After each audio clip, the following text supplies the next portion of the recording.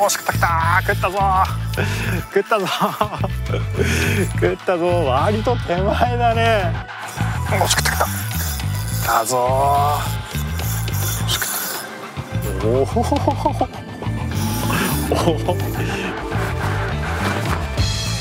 やったよほら。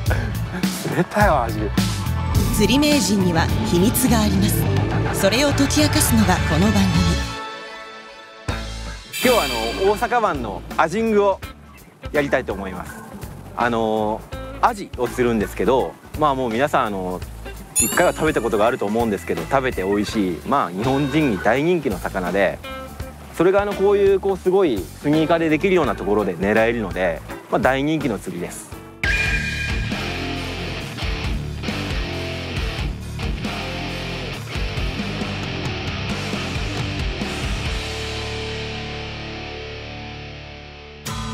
ルアーで狙うんですけどものすごいこう繊細な釣りだって言われててあの数あるルアーフィッシングの中でも一番繊細なんじゃないかって言われることもある釣り。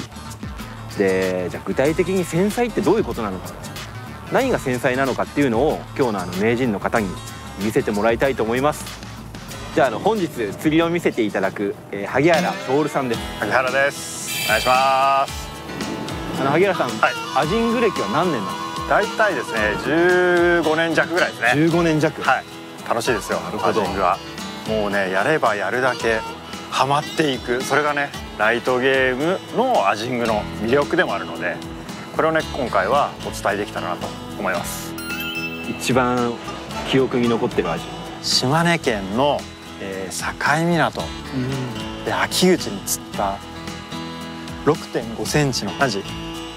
めちゃめちゃかけるの難しくて面白かった。もうすごいピュアな味なのでめちゃめちゃ綺麗なんですよ。金色で。あの味は今でも覚えてますね。じゃあちょっと15年の技を今日あの見せもう見せちゃいますから大丈夫ですよ。見せちゃいますよ 今日はね。まあね味グレライトゲームでもう繊細な釣りっていうイメージもありますけどその繊細の中でねどうやってアジを釣っていくか。それを今日はね皆さんにお届けできたらなと思いますのでその楽しさを少しでもね伝えられればいいかなと思ってます。頑張ります。よろしくお願いします、はい、ますまずあの今日ここのエリアがどういうエリアなのかっていうのを萩原さんに聞きたいと思います。はい、えー、ここはですね大阪の、まあ、市内から30分ぐらいですねできたエリアで、まあ、ふ頭みたいなものが大阪はポンポンポンとあるんですけどその中の一つになります。でまあベイエリアらしく夜になると明るい街灯がついたりねしますので。でね足場も全部コンクリート護岸で駐車場も完備されているようなまあ釣り人に開放されているような場所ですね。今日はここでアジンゴやってきます。ルアーの、まあ、重さとか種類が多分結構その最初どれ買っていいかっていうのが一番悩ましいところだと思うんですけど、はい、それについてはいい質問ですそうなんですよね。アジングワームの種類ジグヘッドとかねすごいいっぱいあるのでこうどれを選んでいいのかお店に行ってなまず何を買ったらいいのかっていうのがわからない。ね。その時はですね初めてのアジングセット。これねリオのテトラワークスっていうブランドから出てるワームがねもう3種類入ってるんですよ。バーニーチョップピピンっていうね各タイプのワーム。それにジグヘッドがね4つ入ってるんです。スナイペットっていうジグヘッドがね4つ入ってる。なのでアジングタックルの準備ができました。じゃあ次ワームどれがいいかな？そしたらもうこれ買ってもらえればすぐ釣りができちゃう。でいろんなタイプが入っててジグヘッドの重さもバラバラで入ってるのである程度の状況下では釣りができてしまう、ね、そういうのがあるので迷わずにねまずはとりあえずやってみようっていう方はね是非こういうね簡単にできるセットがあるのでこういうのを買ってもらえるといいとかな。自分の真正面。真正面。真正面に投げます。ねフルキャストで。でこの時ラインスラッグがね風が右前から左の方にこう流れてくるのでそのスラッグだけ取って糸吹けですね。糸吹けを取って一回沈めていくと。しっかりと。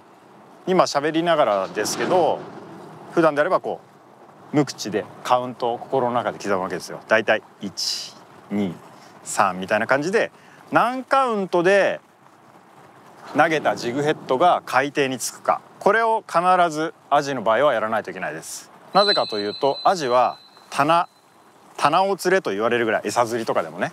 棚を釣れと言われるぐらいどの棚にいるかわからないような魚になるのでまずは例えば水面0カウント。で海底が20カウント。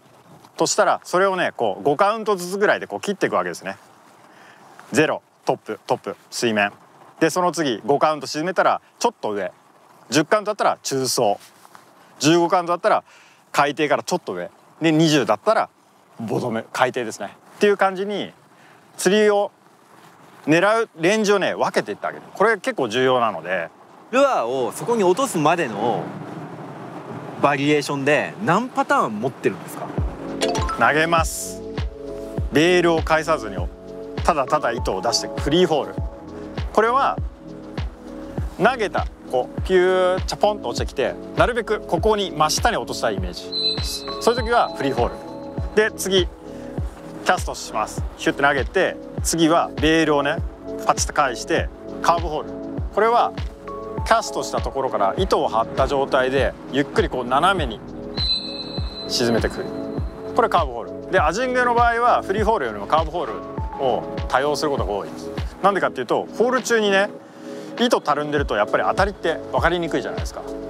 たるんでるものをすごくこう糸がうわったるんでるのをツンって当たりって取れないのでそれであればある程度張っているカーブホール中にどこに当たってくるかっていうのをそのカウントで数えながらどこで当たるかっていうのを見つけるためにやる釣りでその今度カーブホールの中にシェイクをたまに入れてあげてまた落としていく。これがシェイクダウンっていう釣り方この3つさえ覚えておけばその沈めていく時の釣り方はできちゃうんです。次にこうアジング。どんな風に誘ったらいいかなっていうのがあると思うんですけどまあ一般的にはキャストして狙ったレンジがあったとしたらそこからこうシェイクロッドを上下させる。ね。細かく細かくシェイクして。でちょっとだけ止めるんですよ。ちょんちょんちょん。ピタッと止めてからゆっくり今度竿を立てるんですよね。この時注意するのが常にねこの穂先に多少引っ張られてる抵抗感をしっかり見とくこと。ちょんちょんちょんと動かして。まあ大きくやるとちょんちょんちょんってふっと止めてあげてでそこからゆっくり竿を立てていく。イメージ的に言うとまずちょんちょんちょんと動かしてる時はこうこう上下させるような感じですね。ワームをもぞもぞもぞとこうもぞもぞもぞもでちょんちょんちょんとこうもぞもぞさせて。で止めてあげてピタッと止める。ワームを。でスーッと横に引く。竿をちょんちょんちょんその時にここのレンジだったものをちょんちょんちょんと上げるんですよ。そこからまたスーッと落としてる時はこの誘ったちょんちょんのここと同じところに落としてくる。ちょんちょんちょんスーッとまあここで三角山を作るような感じですよね。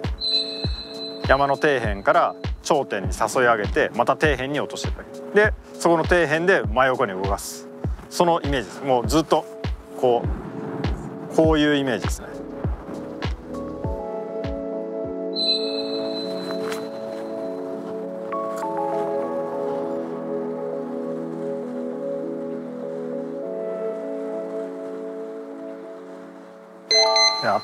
と太陽も完璧に沈んで街灯も消え始めた感じなんでそろそろ回ってきてもいいタイミング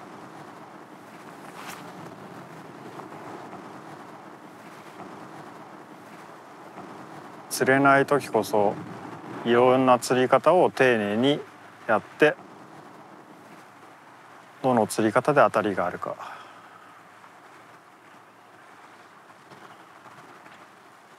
今までずっと海底付近のボトム付近をふわふわでやってたんですけど当たりがないんで逆に今3カウントぐらい沈めてゆっくりゆっくりただ巻くだけ。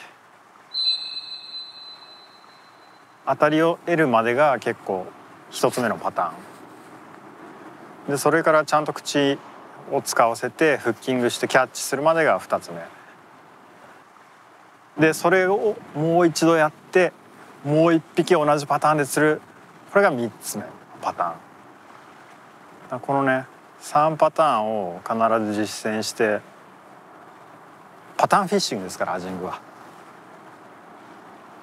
より再現性の高い釣り方。でなおかつその状況の今日この時に当てはまる誘い方カラー。ジグヘッドの重さレンジ、ね、それを見つけて連続でポンポンポンポン釣っていけると一番いい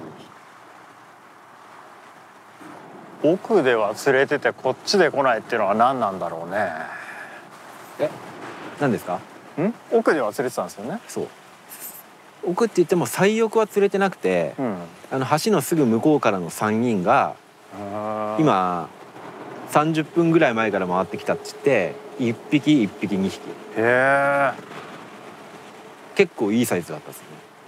多分今のここのアベレージぐらいじゃないですか、うん面白いですよね。こう橋の右側左側で超過にここまで差があるっていうのも面白いことではある。まあそれが潮の向きなのかこう若干向こう側の風裏だからもしかしたらベイトフィッシュが溜まってた可能性もあるし、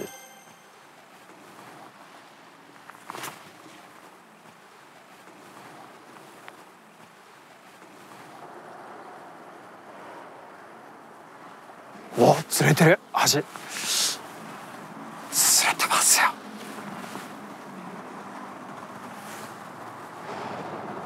チャンスですよチャンス。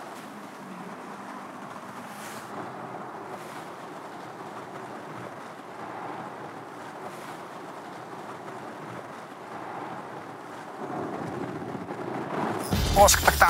食ったぞ。食ったぞ。食ったぞ。割と手前だね。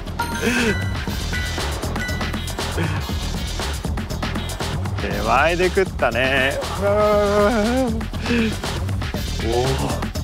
ついに回ってきましたね。せーの。よいしょっと。ほら来た。味。やったよ。僕にも味釣れたよ。ほらほらほらほらほら。ね。どんな感じで？結構まあ今僕のね奥側の人が味釣れてたんですよ。で今潮が、えー奥側から手前の方、えー右左から右に流れててその流れにねもしかしたら乗ってくるんじゃないかなと思ってたのでそこでねちょっとそこの方をねふわふわっと優しくアクションさせてたら狙い通り仕留めましたね。嬉しい。ありがとう。やった。嬉しい一匹。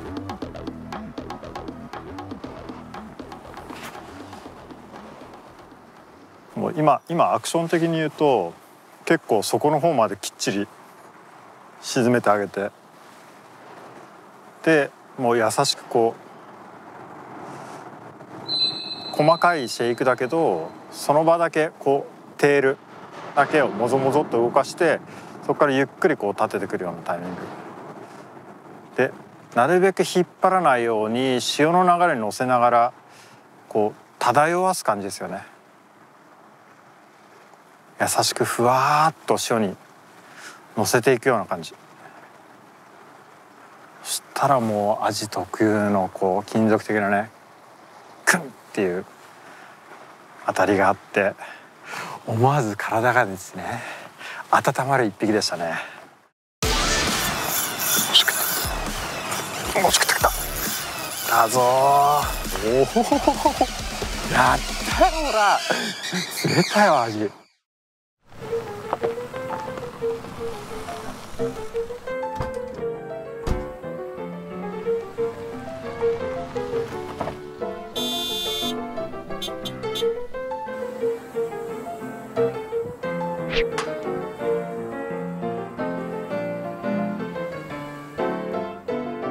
は漁師さんの仕事場迷惑行為はやめよう。マナーも腕の内。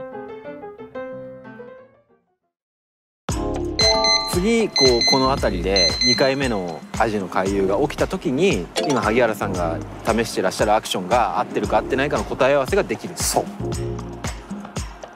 でその次にやることは今釣れてるワームのカラーだけを変えることですねで今 UV のムラムラっ子っていうカラーを使ってるんですけど逆に言っちゃうと UV がないただのクリア系のカラーに次変えてみたいんですもう一匹釣れたら。それで透明感があるワームのカラーを好んで食べてるのか。でそれで当たりがなければ逆にアピールが UV 系のアピール系があるもっとソリッド系のカラーとかアピールが強いグローカラーとかに変えて反応を見る。だから本当は本来のですねこうベストシーズンのアジングでいうとマイキャスト当たるはずなんですよ。いい状況に当たるのでその中でどのカラーが合ってるのかどのワームのタイプが好んでるのかあとどのジグヘッドのウェイトが好んでるのかとかそういうのもね分かってきたりもする。バイトがねこう口の脇にやたらかかってるような時が多い時は吸い込みが薄いんですよ。弱く吸ってる。ことが多いのでそしたらジグヘッドを軽くしてあげればそれが防げることができるのか。で軽くしても外側にかかってるってことは多少の色の違いでなんかちょっと餌っぽいけど偽物っぽいからとりあえず食べてみようかなと思って食べてる可能性がある。それを例えば今、えー、ピンクのワームを使ってるとします。クリアのピンクのワーム。それの今度ピンクじゃなくてただのクリアにしたら喉の奥ぐらいまですっぽり吸ってる。ってなればあもう完全餌と認識して食べてるなってことが分かるのでそうやってどんどんこうより釣りやすくバレにくいワームのタイプとカラーを絞り込んでいく。これがねアジングの醍醐味ですよ。ね面白いでしょ？バタバタバタっと釣れてその後またピシーンと当たりがないですからね。こういう時は我慢の釣りですね。焦ってはダメってやつです。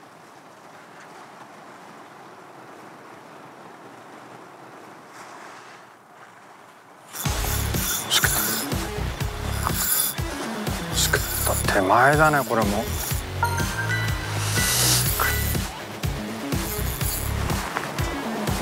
うやばいやばいかななんかやばいやばいやばいやばいやばい。やばいやばいやばいやばいやばいやばい。よいしょっとよし。来た来た来た来た。まだまだ手前だよ。よし。また手前。だけどポロって取れたでしょ？ポロッと。ってことはあんまりあんまり好んでないのかなこの色。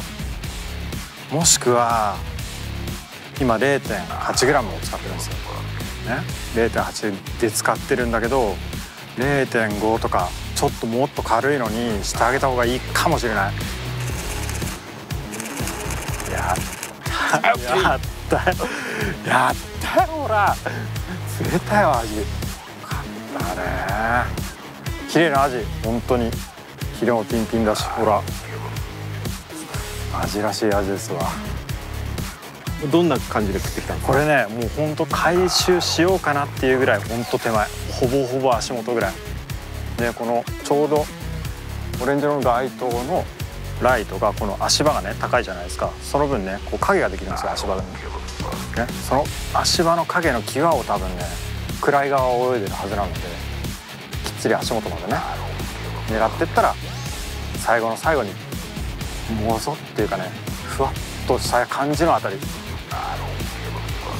ここだから23全長で帯開きで25ぐらい。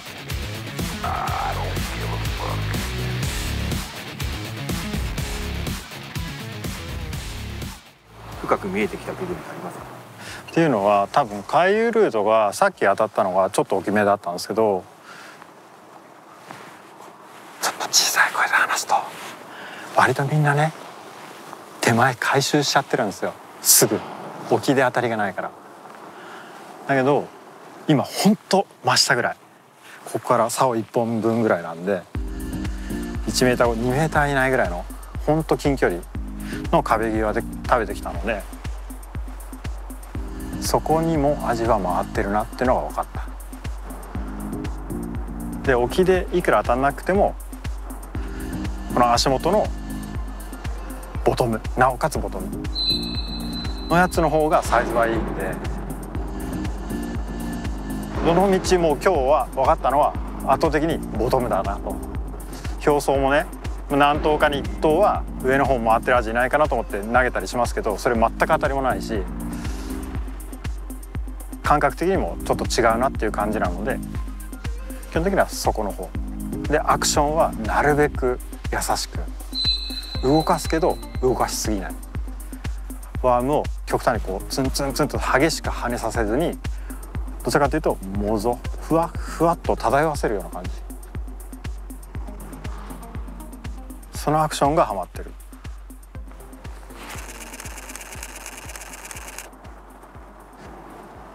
やっぱ釣れると体温まるねいや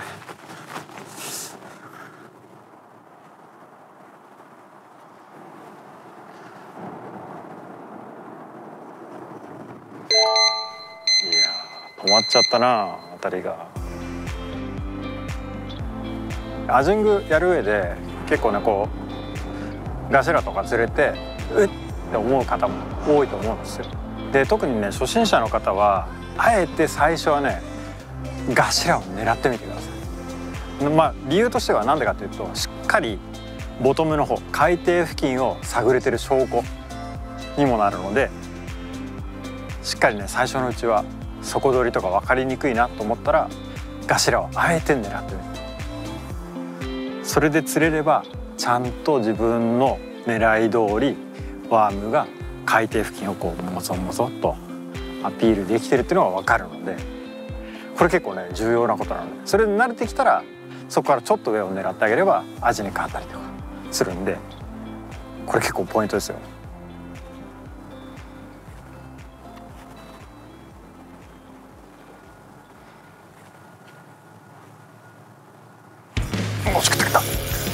だぞ。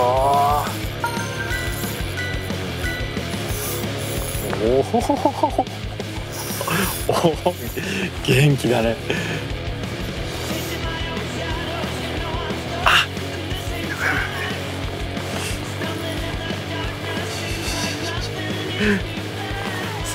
よいしょ。よいしょあー来たよしよしよしよし。チャンスですよ。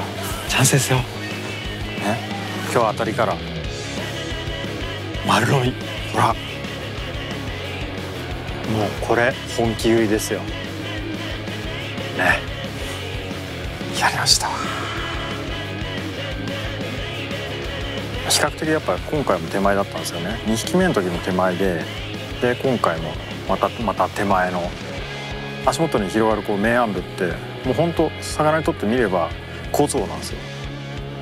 明るい側にはベイトフィッシュがいてもうこうまあねこういう岩盤があってライトがこう照らしてたらここ影になるじゃないですか。こういう帯状のね。そうなってくると表面上見えてるこっち側の明暗ばかり目が行きがちなんですけどここの三角地帯ここのねここも明暗部なんです。そうするとここにねアジ潜んでてこの上を通過する食べれる餌を待ち構えてその中から出てくるパクッと食べる。のでねここはね結構竿抜けで最も手前にある一番美味しいポイントだったりもする。今日は特にそれがハマってる感じではある。今日ずっとこう釣りを見せてもらってあのーもう結構2匹目とかねあの周りが全く釣れてない中で萩原さん一人だけこうかけてるっていうまあまああのしびれるシーンだったんですけど思ったのはまあ一番最初にアジング繊細な釣りだっていうふうに言ったと思うんですけどその繊細の当てはまる範囲が広い。あの例えば、まあ、明るい時間からちゃんと釣り場に来てあの小魚がいない。だからやっぱりあのそこで甲殻類とか食ってる方が釣りやすいんじゃないかとか。あと周りの釣果とかをちゃんと見てあのルアーの種類とかカラーを回したりとかまあほんと試行錯誤を抜かりなくやってるなと、まあ、だから釣るんだなと思いました。お疲れ様でした。お疲れ様でした。ありがとうございました。まあそうですね。今日まあ状況的には決してベストな状況ではなかった感じです。でまあ春っぽくいろんなパターンで釣れるかなとも思ったんですけどどちらかというとベイトフィッシュのパターンが全て消えちゃっていてまあそこの方の甲殻類系を食べているだろうっていう推測のもと狙ってみたらそれ通りに釣れたので、まあ、これがねアジングだったりライトゲームの醍醐味でもあってパターンにはめていく釣りこれがありますので是非ね皆さんもパターンを見つけて楽しいねライトゲームやってみると楽しい釣りができると思いますので是非やってもらえたらと思います。ちなみにこの5月以降うんってアジングどうなんですか？えーっとですね大体もう水温もだいぶ上がってきて今度ベイトフィッシュパターンに変わりつつあるかなっていう状況にもなると思うのでもっとねイージーに釣れることが多くなるかなとは思いますのでまあ状況によってですけれどももっと楽しく連続でねボコボコボコボコ釣れるような状況になるかなと思います。はい、今日はありがとうございましたありがとうございました。